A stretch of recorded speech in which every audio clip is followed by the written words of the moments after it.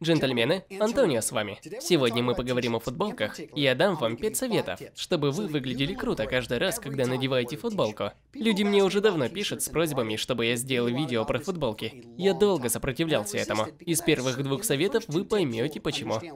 И у меня есть старенькое видео на эту тему, где я говорю про футболки и почему они не самая лучшая одежда для большинства мужчин. А лично я считаю, что это немного переигранный тренд.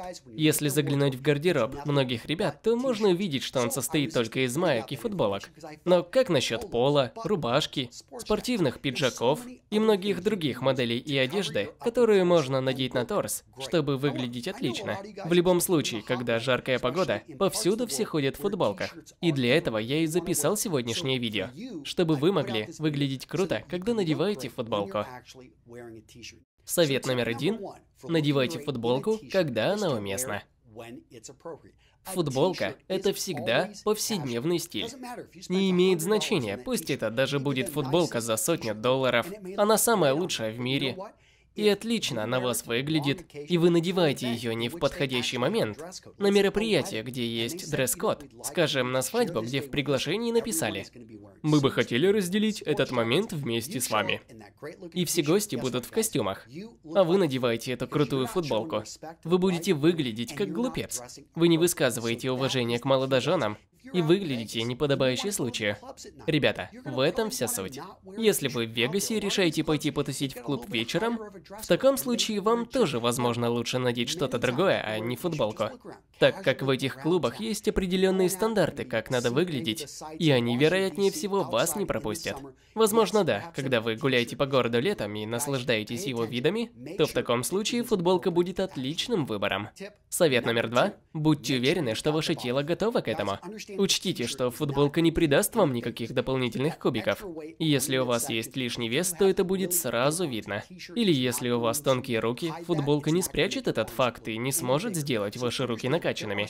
Просто поймите, что есть определенные типажи тела, которые не будут выглядеть хорошо в футболке. Если вы о себе заботитесь, вы ходите в зал, вы молоды, у вас отличная форма, у вас грудь больше, чем живот, тогда, конечно, вы можете надеть маечку. Я с моим метр семьдесят пять роста довольно худощав. У меня всего 70 килограмм веса. Хожу в зал и бегаю, так что я позволяю себе носить футболки. Я довольно худой, но все равно не думаю, что они выглядят классно на мне. Так же, как рубашка на пуговицах или спортивный пиджак. Совет номер три. Подбирай размер. Можно много что сказать, но, ребята, когда покупаете майку, то выбирайте ту, которая сидит на вас идеально. Вот ключевые пункты. Первый – это обратите внимание на плечи. Убедитесь, что шов находится у вас на плече. Если он скатывается вниз, то значит эта футболка слишком велика. На груди футболка должна быть на 0,5 см до 4 см. И то 4 это если вам нравится попросторнее или вы довольно большой парень. Но если вы среднего размера, примерно как я, тогда вам не подойдет 4 см. Вам больше подойдет пол сантиметра, так как вы хотите, чтобы футболка выглядела хорошо и подчеркивала ваше тело. Самая большая проблема с футболками – это крой. Они просто прямоугольного покроя. А те, кто хочет выглядеть круто в футболке, должны убедиться, что верх тела выглядит шире, чем талия и пояс, чтобы сохранялась V-образная форма. Если говорить о рукаве, то мне очень нравится правило 1 треть. От плеча до конца рукава должно быть 1 треть, а 2 трети должны быть уже до локтя. Но если рукав футболки переходит границу середины плеча, то стоит задуматься. Я видел такое на некоторых парнях. Мне лично кажется, что это не выглядит круто. Давайте поговорим о длине футболки. Я просто вам покажу. Итак, оп, поднимусь на стул. Итак, я подниму руки над головой. Вы видите, как поднимается майка? Она не обнажает мой пресс, живот или пупок. Ничего из этого. Она отлично сидит на мне. А также нехорошо, когда футболка опускается ниже крестца. Никогда. Эта футболка на мне – идеальная футболка для меня. И, наконец, давайте поговорим о воротничке.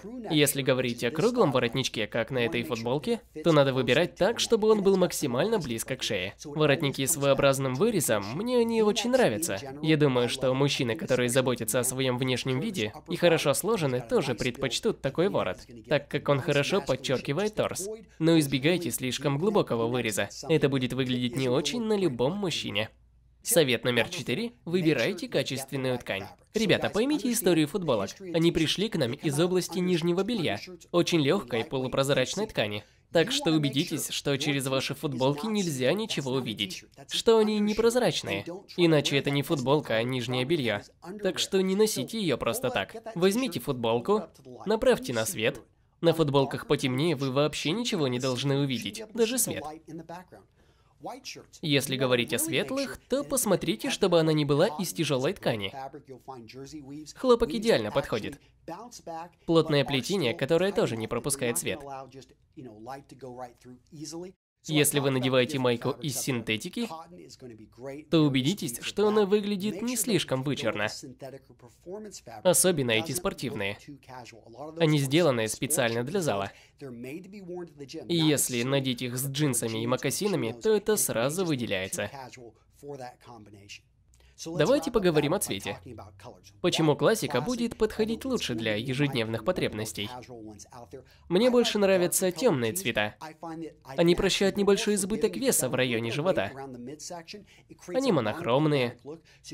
Например, серый, который не является цветом и подойдет под любые брюки и туфли. Можно также попробовать темно-синий или морской. Если говорить о лете, и вы молоды и энергичны, тогда вам захочется что-нибудь поярче. Зеленый или бордовый. Но я все-таки предпочитаю держаться одноцветных футболок, без графических элементов. Они хорошо выглядят и подходят под любую одежду. Совет номер пять. Привносим футболки стиль. Представьте, что в вашем наряде каждая вещь должна повышать уровень на одну ступень. Давайте посмотрим. Начнем с обуви. Я говорил о таких ботинках раньше. Это компания GL Rocha. Красивые ботинки, комбинированный дизайн, отличная резиновая подошва. Они послужат замечательным фундаментом. Так, поднимемся повыше. И тут можем взять качественную пару темно-синих джинс. Светлые джинсы из 90-х уже не подойдут. Нужна хорошая пара, которая будет отлично на вас сидеть. Но все-таки, если вам нравятся светлые оттенки, то можно попробовать вот такого типа брюки цвета хакки. Или можно попробовать вот такие бордовые. Я в таких как раз и в ботинках от G или Rocha. Так что это рабочая комбинация. Дальше на вас футболка. Можно надеть пару солнцезащитных очков. Что вы думаете, ребята? Часы, может быть, еще и браслет? Сделайте прическу и приведите бороду в порядок. Все это создает один ансамбль, и именно так можно выглядеть круто в футболке. Ребята, все это ведет к уверенности. Когда вы уверены в себе и своем внешнем виде, неважно, будь то футболка, поло или рубашка, просто пробуйте, практикуйтесь в своем стиле и развивайте уверенность. Пишите в комментариях, что вы думаете, и увидимся в следующем видео.